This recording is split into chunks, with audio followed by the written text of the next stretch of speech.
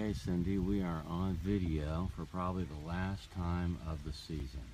Well, in the canoe, we can make more videos, honey. Well, that's true. It doesn't have to stop. We can have fireside chats. Yeah, true, true enough. Hey, But uh, I'm not dressing up like I'm not dressing up like Roosevelt though. you're Sorry. not. No, Well, I don't think the facial hair would look that good on me. I have to say, you look a little different today than you did as uh, Officer Anita Bribe last night. Yeah, I probably look like my head is on fire when the sun. Yeah, you do, but it doesn't look bad at all.